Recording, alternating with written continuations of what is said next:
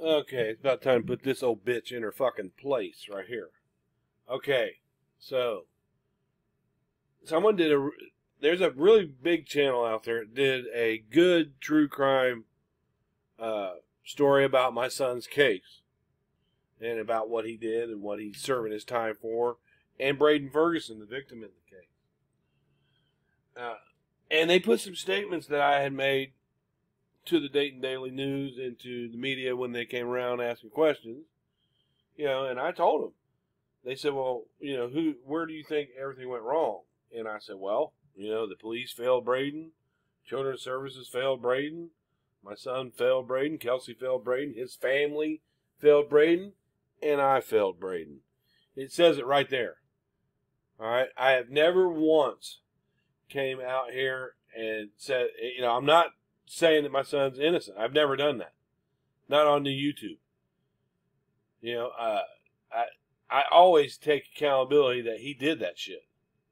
I am the one that turned him into police and walked into the police cruiser.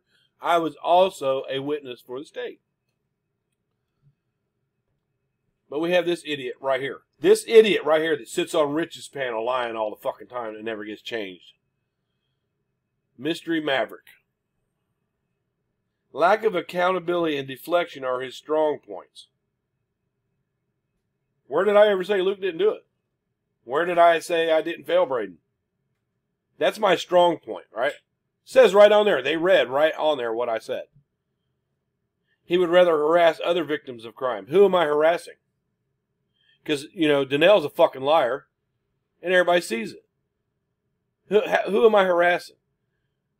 You know, she called my house seven times in a row and refused to not stop calling, even after I told her, you can't call, my kids are asleep.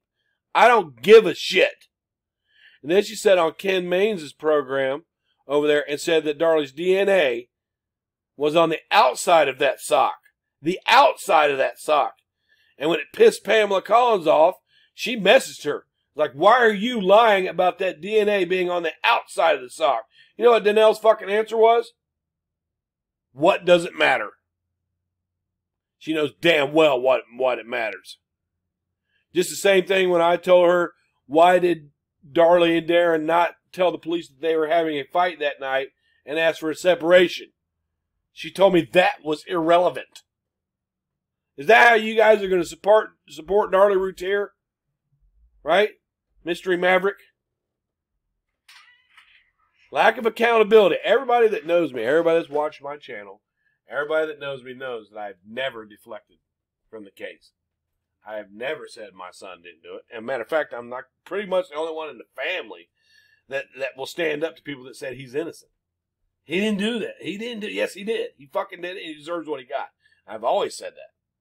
But this fucking idiot right here who says that Waddell was asleep in his cruiser,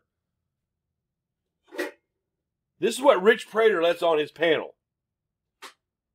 Now, now realize how dumb this is. This is how dumb this is. Here's this woman who's defending someone that was convicted of killing two children to the point of lying about it. Waddell was asleep in his cruiser. He said she could only live a maximum of nine minutes. You're a liar, and you don't like it that I catch you in your lies. I feel bad for Rich Prater for letting idiots like you on his panel. Because you get caught in lies, but you're not going to make him look bad. I'm not going to take it out on him. I'm going to handle it, take it out with you. But, anyways, you're protecting a woman that did kill two children and is on death row for that. But you come in here to tell me I need to take some accountability? I need to make my son admit his guilt and take responsibility? Bitch, you can't make Darlie admit her guilt, can you? I don't need to make my. You can't make. When somebody's lying that they're innocent, you can't make them say they're guilty. We've been dealing with that for 27 years with Darlie Routier. But you're on a page telling me how how I shouldn't, you know, care about my son and why I'm deflecting. You put post anywhere where I ever deflected that my son did this shit, you stupid bitch. This is what Rich Prater lets on his panel, y'all. Everybody that knows me knows that I've always admitted that he did this. I've never tried to deflect from it. But this is what they try to do to run their point into the ground.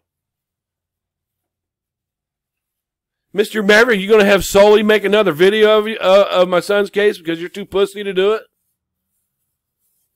You know she told people that, that you had her do that, right? So much for your friendship, right, bitch? You're getting on my fucking nerves with this bullshit right here.